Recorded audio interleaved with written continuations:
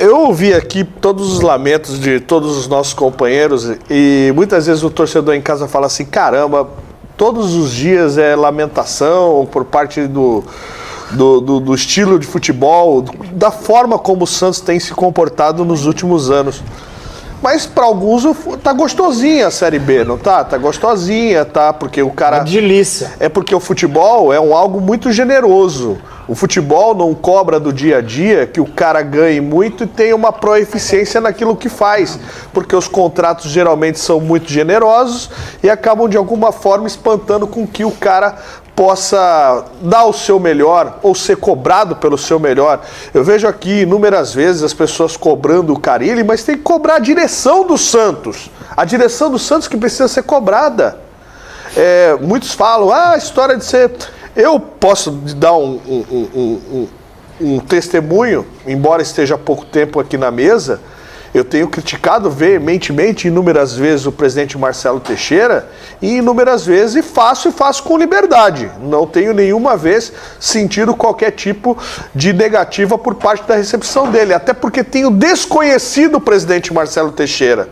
Na última entrevista que ele concedeu aqui na casa, quando ele fala que não quer o título da Série B, quando inúmeras vezes pormenoriza tudo aquilo que está acontecendo ao redor do Santos, diz sim que inúmeras vezes se sente revoltado como o Santos se comporta, mas não adianta quando você tem o poder, você se sentir revoltado e não tomar posições para que isso volte a ser. Porque o padrão Santos, eu estava vendo o desabafo ali da Clara, e concordo 100% com tudo aquilo que ela disse. Porque o torcedor do Santos hoje é um torcedor melancólico. É um torcedor que, até tempos atrás, era um torcedor que competia de, de igual para igual com qualquer clube. Hoje, nós estamos por baixo e muitas vezes o torcedor adversário está com dó de ver o Santos nessa condição. Se a gente fizesse falasse sobre que o futebol é cíclico, eu, eu, hoje eu digo a vocês que eu invejo a administração do futebol do Botafogo. Olha o que era o Botafogo há quatro anos atrás. E eu diria hoje que o Botafogo é uma referência. Por quê? É administrado por uma SAF? Ah, foi comprado por dívida. Mas, de alguma forma, só se ganha dinheiro, só se contrata quando se compete. O Botafogo passou pelo Palmeiras, faturou 40 milhões.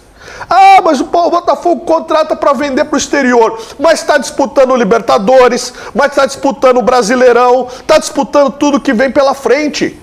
Eu sou Santista desde 1981, desde que eu nasci. Eu já vi times ruins, mas eu nunca vi um time tão indolente. Eu nunca vi um time tão abaixo, um time que se contenta com pouco. E eu tô vendo muito torcedor do Santos falando assim: é uma fase, a coisa acaba. Não! Não acaba. O Santos jamais pode se apequenar. Tem até uma música da torcida que diz lá, em 95 eu não desisti, contra esse mesmo Botafogo.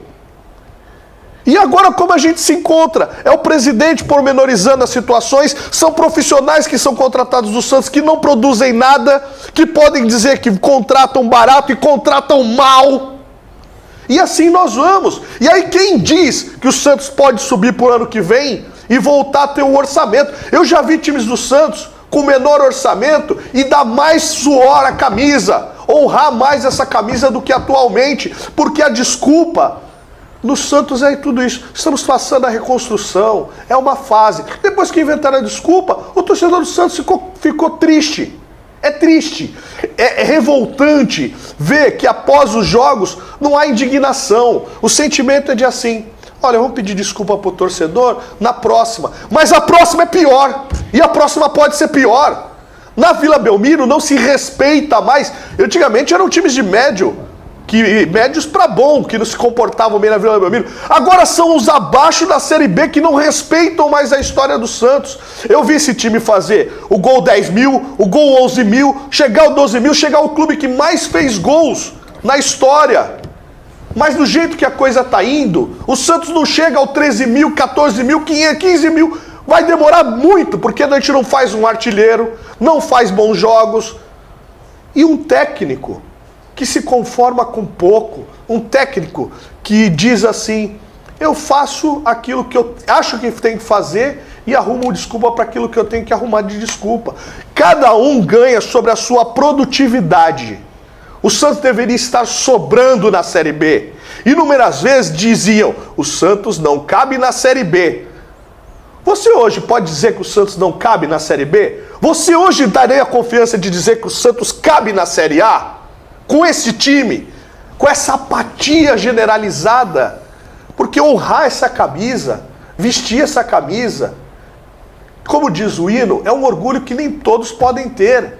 Mas parece pasmaceira, parece que a desorganização, parece que o tudo vai se resolver de uma forma sem o menor planejamento e pura e simplesmente pela mística dos Santos, sem tomar as devidas providências, porque para assumir essa diretoria, para assumir esse clube, para vestir essa camisa, precisa ter coragem. Nunca nada foi fácil na história do Santos. Então não vai ser do dia para noite que esse clube vai voltar a ser o que era antes precisa ter atitudes de coragem, precisa ter planejamento, mas acima de tudo, precisa ser santista de verdade. Não dá para se conformar com o presente do Santos.